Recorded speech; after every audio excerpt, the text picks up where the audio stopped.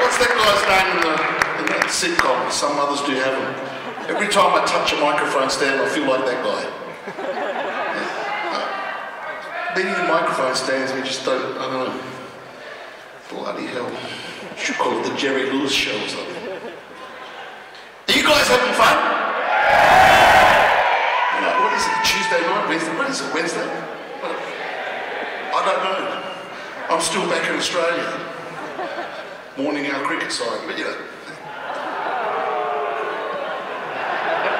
Hey, we're the ones fucking losing, not you. Jeez, give us a break. You're killing us. But uh, look,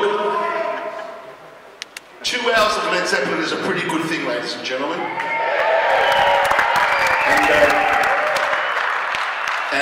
We love keeping this music alive. We love playing it to young people. What the hell happened to them tonight?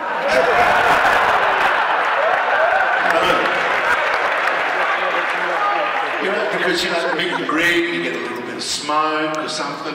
All begins anti-inflammatories and painkillers.